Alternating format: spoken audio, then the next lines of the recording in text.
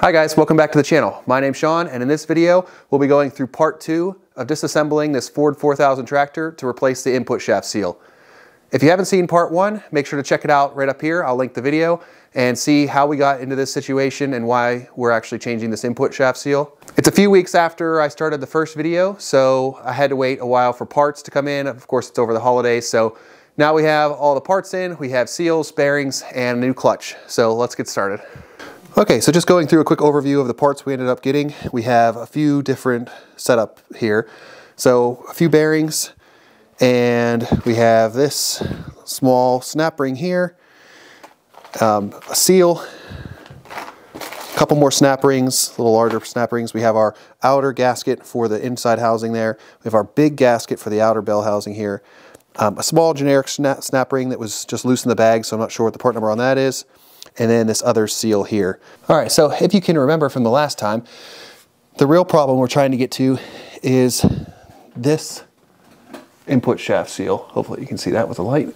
This input shaft seal was leaking um, pretty, pretty excessively. So that's the goal to get to that seal.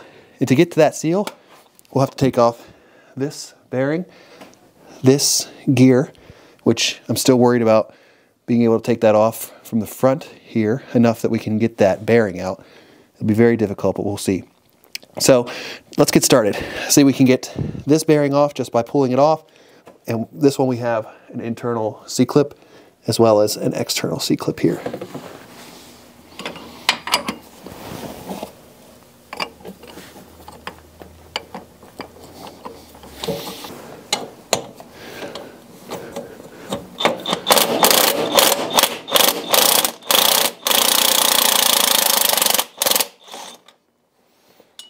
Easy enough, there's one down.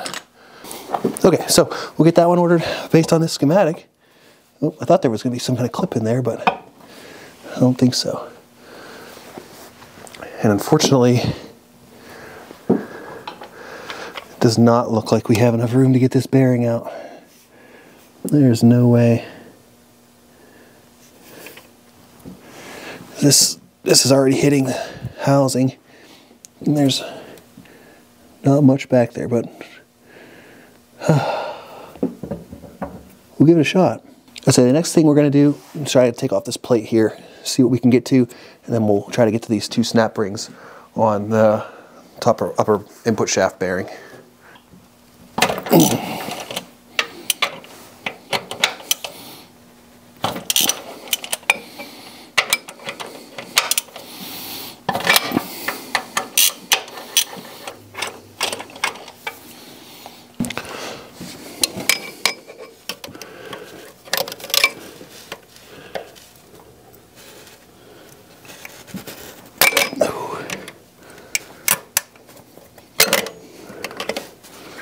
something started now. Okay. Whew, that's good. Uh, whew. There's a tough one. Okay. Another one down. Now, let's see if this shaft comes out. I mean, the whole thing comes out. As much expecting. Uh, unfortunately.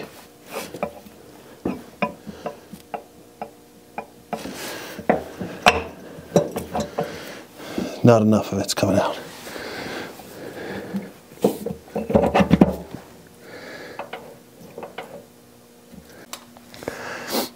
All right, well, I've been looking at this a little bit more, and I'm able to pull this out probably about an inch to an inch and a quarter. And I was able to get my finger behind this plate here. Now this is just a bearing retainer plate on the schematic and what they call it on the parts diagram.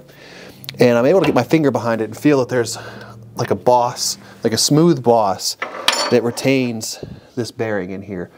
And then somehow this bearing on the inside is retained on this longer input shaft. So the only way I can think to try to separate this plate and the bearing and the shaft and the bearing, which are all separate parts, is hold it out this inch or so and try to tap on that bearing see if I can get it to slide back in towards the housing. Not a big fan of this method, but I really don't see anything else at this point. So let's see if this works.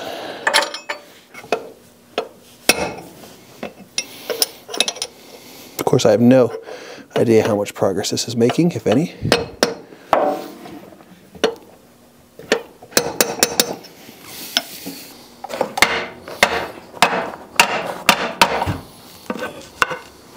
Okay, welcome back. It's a new day. I was able to borrow this engine hoist from my brother-in-law, so that should help out a lot. And really the goal for today now is to split the tractor here at the transmission. So being able to do that will bring this whole piece forward and allow us to push that lower shaft through so we can get that gear off. So to do that, we're gonna get to these eight to 10 bolts here or whatever's holding it on. And there'll be a few other miscellaneous bolts like these pedals and a few other things around. I did this job a couple years ago to do the PTO when it came out and tried to uh, redo the washer that's in there. So shouldn't be too bad taking this apart. Just have to remember how it went. So let's get to that and then we'll catch up with you guys once we get this supported.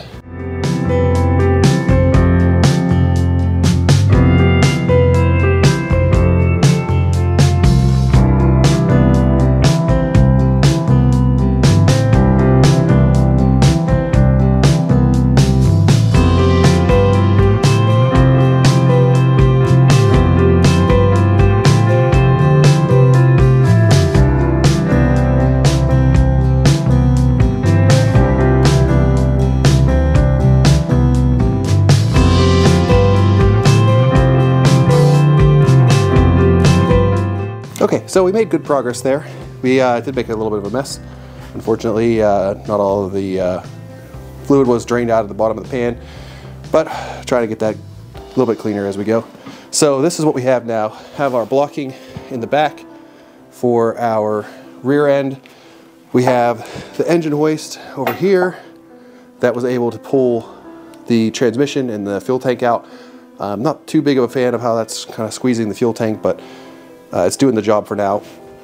And you can see now back here that we need to find a way to take this shaft and pull it towards us a little bit so we can take that front pulley off. And of course, uh, there's a snap ring here, so I'll have to look into this more to see just exactly how, uh, how this shaft comes forward. Um, worst case, this whole housing might end up coming off. So I don't know. We're uh, gonna find that find out as we go here.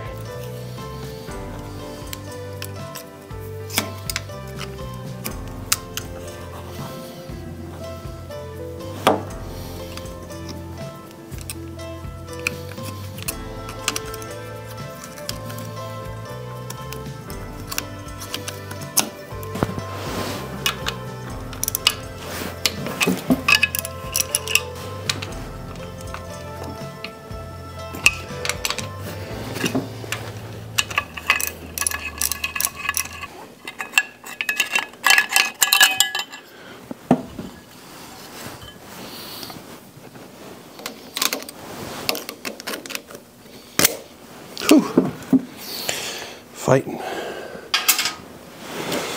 All right, what's next? This should slide off. And we have a snap ring with a bearing. And hopefully this whole thing slides towards us.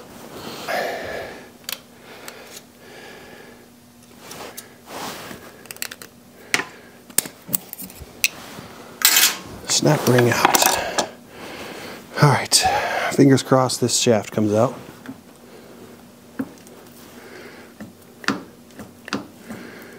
Well, it's hung up a little bit on that lip, but should be able to come out. The snap ring's on this side.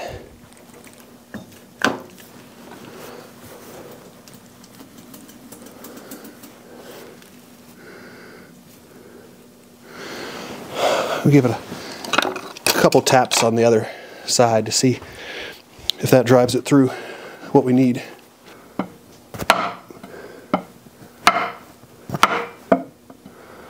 Seems like it's going. Definitely going somewhere.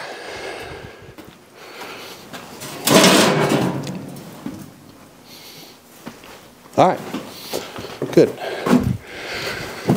So our bearing's out. Just drove that shaft through the other side. So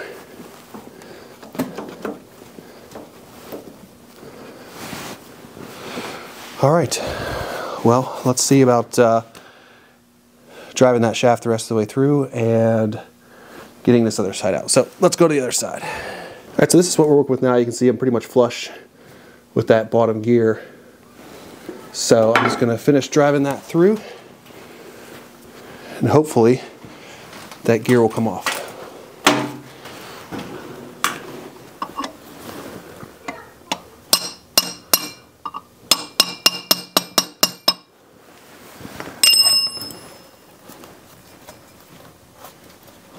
Oh, It's like I'll have to take it all the way through.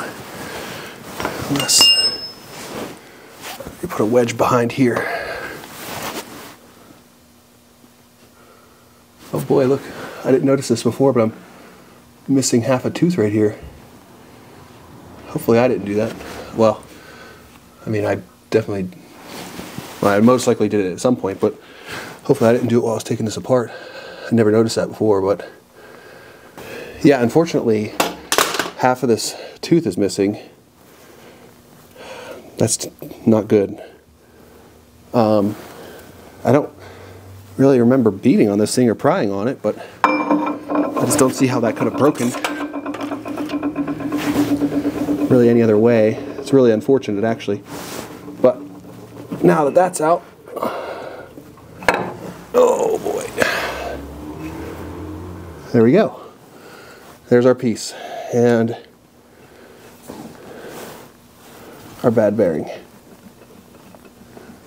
So let's get this changed and we'll worry about this lower gear. All right, so here we have basically the bearing that caused all of this. You can hear it's pretty nasty. So I have to figure out how to get this bearing off. This one still feels good. So let's get this bearing out of here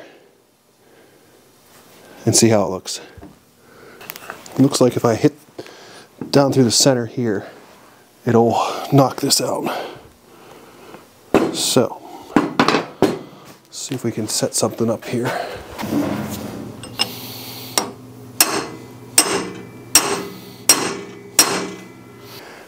Well, after looking at this a little bit more on the schematic, I can see here that uh, this is actually all one piece. So it might be hard to see on here. But this shaft, based on the parts diagram, is, see if we can focus.